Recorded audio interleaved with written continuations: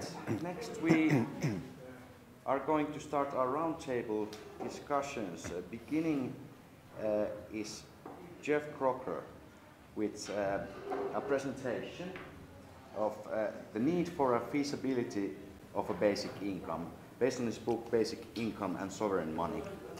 And uh, Jeff reminded me that when Zoom participants are talking, I'm giving them the wall, but now I'm giving you the floor. Thank you very much. Thank you for the invitation to address your conference. I haven't been to Helsinki for about 30 years, so it's very nice to come back and see your very beautiful city again. Um, so I'm going to give this presentation, which is based around the theme of my book, and the book is called Basic Income and Sovereign Money.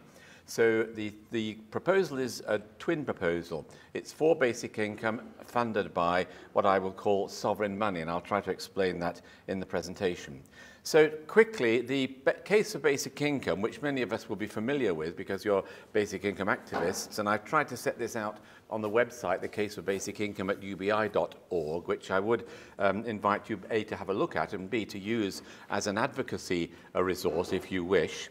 Um, here's the case of basic income based around these um, five headings. One is social justice, which we're familiar with. We're all interested in seeing social justice, in addressing the huge inequality that we face, in addressing the precarity that the employment um, market has, has produced, and the, the insecurity of income and life that that has uh, led to, and in, um, in implementing a shared inherited um, infrastructure and technology. So this is a question of human ontology, a philosophical question really, that we're all born uh, with certain rights to sunshine, to rain, to grass and all the rest of it, and we also have a right to the infrastructure and the technology that we inherit, and that should be a universal right of inheritance, not an elite right of inheritance. Uh, basic income is also the best welfare system, i.e., it's less intrusive, it's lower cost, it has higher uptake than means tested benefits. And of course, it therefore avoids the humiliation and the intrusion um, of means tested benefits. And when we advocate basic income as a tool for social justice, we also do need to recognize that targeted welfare benefits are um, an alternative proposal um, for the same objective. And we need to show why basic income, in our view, is a superior strategy. And basic income, therefore, also avoids unemployment and poverty traps that are inherent in most current targeted welfare benefit systems. Because rather than basic income providing a disincentive to work, it's actually current welfare systems that uh, have a disincentive to work because, as you know, you get a job, you get some wage, you lose your benefit, um, excuse me for the English, but pound for pound or euro for euro, whereas with the UBI you won't, and therefore it's not a work disincentive. Then we come to the question of macroeconomic demand. And, and I will present um, an analysis which suggests that technology and automation um, has been sucking income, sucking labor income out of the economy, uh, making some people income deficient and increasingly reliant on more benefits and upon indeed household debt. Um, and therefore, a basic income would address this sucking of income out of the economy by technology and help us to avoid the debt, the crisis, and the austerity that the present model produces. It has, as our colleagues were saying earlier, a huge ecological benefit in that it breaks the link between income and employment, you know, and yet more output and yet more resource depletion and yet more emissions and yet more pollution. So basic income is an ecologically positive proposal. And finally, but not to least, it encourages human flourishing, i.e. the choice of lifestyle, what people want to do with their lives, um, becomes less dictated by the straitjacket of the 8 to 4 factory life or the 9 to 5 office life. Um, and if the technology allows us that choice to flourish, why do we not want to take it? So then we come to this thorny, prickly issue of how do we fund the basic income such that we avoid the, the challenge that UBI is either too small to be meaningful or too large to be affordable. So I tried on this table to set out what the various funding options that are usually pr proposed are. One, proposed by several of my colleagues in the UK, is a revenue neutral approach to basic income, that it's funded by higher taxation and by the replacement of other benefits. My comment would be, sure, that does achieve unconditionality, which is a major gain.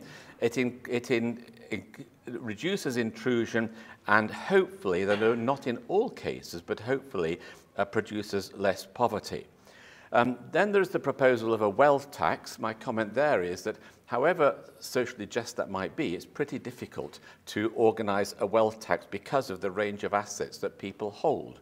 You know, so if you look in the UK situation, and, and I do apologise that all my numeric examples are UK for obvious reasons.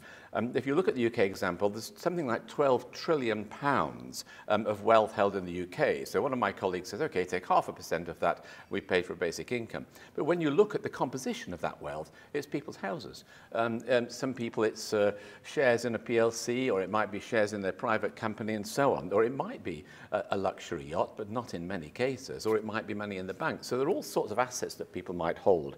Um, and how you tax those assets in a fair way I think is pretty difficult. You know, if, can you pay a wealth tax with wealth? Because the definition of a wealth tax in my mind would be that you can pay it with wealth. Is the state going to then accept wealth? Is it going to accept your PLC shares or your yacht or whatever it may be? Um, or actually, is it going to be paid out of income? If it's going to be paid out of income, which is normally the case with a wealth tax, um, then actually it's a form of income tax with wealth as a parameter.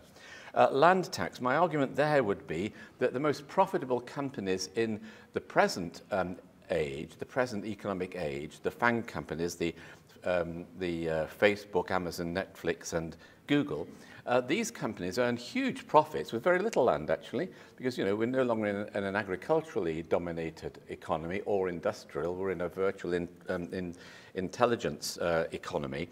And these companies, the most profitable, use little land and therefore would pay very little tax under a land tax. The eco tax, my critique would be that we should not be using um, eco taxes to raise revenue. We should be using eco taxes to stop emissions. Um, and therefore, I think there's a, um, there's a, a, a dual argument here which is, which is leading us in the wrong direction. Um, and eco-tax should self-cancel. And sovereign fund investment requires one of those above. So I'm going to be arguing for sovereign money creation, a different approach to the creation of money into the economy, which is indeed a heterodox um, economic paradigm, but one which I hope I'm going to be able to show has some credibility and isn't just wacky, if you know the English word wacky. Um, so reasons why, in my view, basic income needs to be associated with a proposal for debt-free sovereign money. First, as I've said, it's the only way to deliver adequate basic income at an affordable cost and therefore breaks this challenge that UBI is either too small to be meaningful or too large to be affordable. Secondly, that it is a consistent argument for both debt-free sovereign money as for basic income. Now, I will expand this argument, but a thought experiment of a totally automated economy where there was no wage and no labour, in such an economy, goods and services would have to be distributed by vouchers created and destroyed each year. The vouchers represent a basic income, 100% of GDP, and they represent debt-free sovereign money. So it's a consistent argument. And thirdly, that the pilot of basic income plus debt-free sovereign money has uh, been delivered in the COVID economy. Um, again, these are UK figures, excuse me, but UK furlough scheme paid £24,000 a year to 3 million people. Now, that's not a UBI because it's not universal, but it is um, structurally close to a UBI proposal, and the cost was £72 billion. All of that was funded within the Bank of England, our central bank, buying 875 billion of government debt, equal to 40% of government debt. And my argument is that since the Bank of England is owned by the government, actually, in net terms, that's not debt at all. So I'm arguing that that actually is a demonstration that debt-free sovereign money um, can be held in the economy to fund something like um, a UBI scheme without causing the collapse of either hyperinflation or devaluation of the currency that all the critics had previously predicted. And I personally think this is the most important pilot of UBI that we have seen because it is a pilot of a macroeconomic UBI. Um, and the proposal is therefore linked to these twin needs that I think we face. One is to get income to people, and the other is to get debt out of the economy. So it shows BI proposal to be fundamental to a reconsideration of the um, economic system. Now, we're all aware that the present economic paradigm, whilst it does actually work to some degree, I mean, we're all here, we've all ate lunch, and we all uh, are clothed. So it's not like it's broken down completely, but it does have significant dysfunctionalities. One is the, the crisis, which was actual 13 years ago and could well repeat. Secondly, is the pervasive debt in the system, both at household and government level. Third is the continuation of austerity policy with its huge social um, costs. Um, then extensive poverty, including in-work poverty. And the fact that we see in-work poverty demonstrates surely that work is no longer the guaranteed provider of adequacy of income that it used to be and that we hope it will be. It's currently not. We see low-paid jobs, we see increased inequality, both between those who are working, those who are not working, and uh, within the groups that, that work. You know, we're seeing on the one hand stratospheric salaries going to an elite and low pay going to others. And we're seeing huge ecological damage. So that level of dysfunctionality suggests that we need a radical rethink and we need to see a re-engineering of the economic system. Very quickly, the explanation that people usually forwarded of the crisis in 2007 2008 was that it was bad behavior. Um, it was bad banks who created excess debt through derivatives, and it was bad governments who failed to regulate.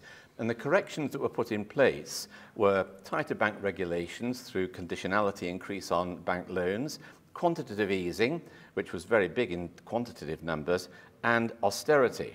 My argument would be that since that hasn't addressed these fundamental dysfunctionalities, we need to think again. Is simultaneous universal malpractice by every bank in every country and every government in every country, is that a credible hypothesis? I actually don't think it is. Um, what actually caused the debt explosion? Was the US prime debt for housing or consumption? And is the crisis structural rather than behavioral? And, and undoubtedly, there will be bad behavior somewhere within the economy. But my argument would be that the crisis was structural in the following way. And please, this is all hypothesis, so please feel free to come back at me at any point because what I really welcome it would be your critique because I want to refine this, uh, this line of thought.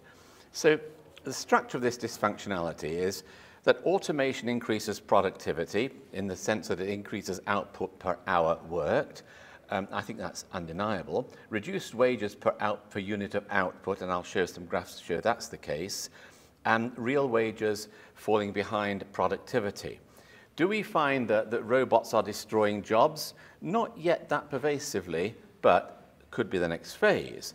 But what is happening um, in box three, I should remember these, but in box three, we are seeing income sucked out of the economy. We are seeing in box two the bifurcation of employment into very high paid specialty jobs and very low pay bullshit jobs and inequality um, rising inexorably. And we are seeing box one, uh, reduced labor bargaining, bargaining power. So the test of my hypothesis as to whether technology is sucking income out of the economy is what's happening in the relationship between aggregate labor income and GDP. And I accept all the critique earlier of GDP, by the way, so I'm just using that as a rough rule of thumb at the moment. Um, what's happening is that the, this difference is forcing households to increase their debt, increasing government welfare spend. Those both hit some kind of limit as they increase, and the limit leads to constraint. And we hit crisis, we hit austerity, poverty, and inequality on the increase in ecology and humanity uh, suffering. Um, so this is the thought experiment that I referred to earlier. If we were to plug a machine into the earth for the total economic output so that there were no wages in the economy, um, we would have to distribute that output through an annual voucher, which in my thought experiment is actually destroyed each year, reissued the next year. That corresponds to 100% of the economy being basic income. And it corresponds to 100% of the economy also being sovereign money, i.e. debt-free, like coinage. So the, the nuanced argument from that is that if in a totally automated economy we've got 100% basic income and 100% debt-free uh, sovereign money, then in a partially automated economy we have a partial need for basic income and a partial need for debt-free money. So we see that unearned or basic income becomes an essential component of the expression of demand in the economy, and sovereign money becomes essential to fund basic income and government expenditure. The empirical evidence for that um, is that earned income has declined against consumer expenditure in the UK, this is, from 1948 to 2016, which I will show on a graph in a moment. That huge household debt is acting as a surrogate for the missing basic income, which should be there, and huge government debt um, is acting as a surrogate for the missing sovereign money that we need in the economy. And as I said a moment ago, the Bank of England purchased 875 billion of government debt, which I claim is equivalent to debt-free sovereign money. And the project that we've been running at the Institute for Policy Research at the University of Bath in the UK has tested the hypothesis that technology is sucking income out of the economy in a three-year um, multi-country study taking 23 country economies data and demonstrating through regression that technology is indeed reducing the labour share. So this is the empirical evidence UK, and I'd be very happy to include further country economies evidence if it becomes available, that labour income has declined consistently versus consumer expenditure all the way from 1948 to 2016. And you'll see the top line there is labour income. It includes uh, self-employed income. And I have had the direct help of our Office of National Statistics in ensuring this data is valid and correct and properly interpreted. And we do see this delinking of productivity and real wages. Um, and I would point out that this argument relies on automation, not growth. Uh, so we could have a degrowth proposal, and in the degrowth proposal, if the output was still produced by automation, it would still not be delivering the income needed for aggregate demand. And uh, you can see that in about 1995, there's a crossover between these two lines. Up till that point, labour income is adequate for cons consumer expenditure. After that point, it's not. And so consumer expenditure becomes funded increasingly by unearned income, of welfare benefits, of dividends, of pensions, and worryingly, of household debt. and this is the same picture for the German economy, seeing the same, same divergence. Um, empirical evidence in the UK again, household debt is 1.28 trillion, it's 61% of GDP, and uh, government debt everywhere is increasing in the world. I must update these graphs because now certainly the UK debt is equal to 100% of GDP, and as you know, Japanese debt is equal to 250% of GDP. And my argument would be this is just mythical, this is just delusional. You know, no economy can pay back 250% of its annual output. I mean, however you redefine GDP to properly reflect human well-being, which I accept it should be, but for the moment, um, that output of goods and services, there's no way you can repay a 250% uh, uh, debt of GDP. And I think we've got to, and economists, and academics, and politicians, and us all have got to face up to the mythology of this uh, situation. So um, household debt and government debt are constraining expenditure. Um, it is pushing um, an, a continuous program of austerity, which is why conceptually, and this at the moment is conceptually, um, I would want to see that household debt replaced by basic income and that government debt replaced by sovereign money so that we can restore austerity cuts. It does mean redefining our money, how we think of money.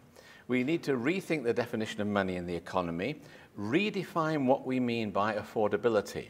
At the moment, affordability is defined by how much money we've got in our bank accounts, and, and we even apply that at government level. You know, so social affordability in the, in the total economy is thought to be dependent on how much money the exchequer has got. Actually, it's not. As Keynes, uh, our great British economist, said, anything we can actually do, we can afford. So, you know, affordability is defined by whether we can actually build that bridge rather than whether we've got the right amount of money in the government exchequer. And therefore, we take debt out of the system. So we move from financial orthodoxy, where money determines outcomes, and in orthodoxy, where accountancy is prime over economics, money is thought to have an inherent value, either because it used to link to gold reserves, or now because it links to the sale of government bonds which create debt. And in this view, money is real, can't be created or destroyed unless it's matched by debt or gold. Government budgets must balance, and household and government expenditure become debt financed and therefore limited by debt. So affordability is defined in the current paradigm by government financial reserves. Compare that to a more heterodox theory of money, i.e., sovereign money, where money enables outcomes rather than money determining there is constraint to outcomes. In this paradigm, money has no inherent value. There actually is a magic money tree. It's pretty obvious with digital money, you know, a keystroke money. At a keystroke tomorrow, the central bank could put a thousand euros in all your bank account. That's technically possible if they actually. Money is thought to have an inherent value, either because it used to link to gold reserves, or now because it links to the sale of government bonds which create debt. And in this view, money is real, can't be created or destroyed unless it's matched by debt or gold. Government budgets must balance, and household and government expenditure become debt financed and therefore limited by debt. So affordability is defined in the current paradigm by government financial reserves. Compare that to a more heterodox theory of money, i.e., sovereign money, where money enables outcomes rather than money determining there is constraint to outcomes. In this paradigm, money has no inherent value. There actually is a magic money tree. It's pretty obvious with digital money, you know, a keystroke money. At a keystroke tomorrow, the central bank could put a thousand euros in all your bank account. That's technically possible if they actually had your bank account details. So there is a magic money tree. Um, but money derives its value from output GDP. Again, apologies for the GDP use, but from the, the output of the real economy. So a sovereign state can issue money versus its national output without necessarily creating debt. Sovereign money is needed in high technology economies for the reasons I gave earlier, and household and government expenditure are then funded by sovereign money. Not unbounded sovereign money, but sovereign money bounded by the uh, out affordability now becomes defined by real resources of labor, of land, of raw materials, um, of time, and of technology, and productive potential Keynes again, anything we can actually do, we can afford, which you would think was obvious, but it doesn't seem very obvious in the financial orthodoxy of today. I mean, everybody understands that last line except accountants, with apologies to any accountants here. So looking at the definition of sovereign money, a brief, a brief diversion into modern monetary theory, MMT definition. So the MMT definition of, uh, of sovereign money by Stephanie Kelton and Randall Wray um, is that sovereign money is there to fund a job guarantee because the MMT school still believes that we can continue to generate high wage employment, which is a, which is a presumption I question given the role of automation. That money creation must be matched by debt creation, so they still see that money is debt, um, which I disagree with, um, and that that debt is created is balanced by surpluses in, in other sectors of the economy, uh, identified by the British economist Wynne Godley um, and then they would apply zero interest rate to that debt. The definition of bank money by Joseph Huber, uh, my friend in Berlin, is that sovereign money has to be a state monopoly, i.e., you can't have, in his view, commercial banks creating money. Um, I don't agree with that, actually, because I don't think the state banks have the capability to create personal and business loans. Or the basic income definition, which I'm advancing, i.e. that sovereign money funds aggregate demand to full potential output GDP. Money creation is debt-free, not matched by debt creation. It avoids excessive consumer and public sector debt, which leads to crisis and austerity. It eliminates intermediate arbitrage, uh, reducing the financialization of the economy. Because uh, in most systems, when the central bank buys government debt currently, it's not allowed to buy it in the primary market. Um, the only people allowed to buy in the primary market are pension funds, insurance companies, stockbrokers, rich individuals, and foreign central banks. That means that the um, central bank of that country can only buy in the secondary market. When it moves in to buy huge amounts, as has happened through COVID expenditure, um, it's basically generating a risk-free margin to those intermediaries. Personally, I think that's a scandal. So that arbitrage and financialization we need to reduce. and it returns seigniorage um, to the state. So there's an attempt in a little table there to summarize those three views of sovereign money. So money is not equal to debt. Um, the academic perspective is growing that money is not quintessentially debt. And I refer you there to a couple of articles, one by Michael Kumhof, who is actually head of research at the Bank of England, um, and, and his other colleagues on central bank money. Is it a liability, an asset, or equity of the nation? And of uh, Biagio and Costa um, money for the issuer. So there's an increasing uh, academic view that money is not essentially debt. So here, I won't go into this diagram in any detail, you'll be glad to hear, but that's an attempt to look at um, the money creation and flow in the present economy and the way in which, with the dotted lines, we, I would be proposing to put sovereign money into government expenditure and quantitative easing, but for the people, i.e. Um, to fund a basic income.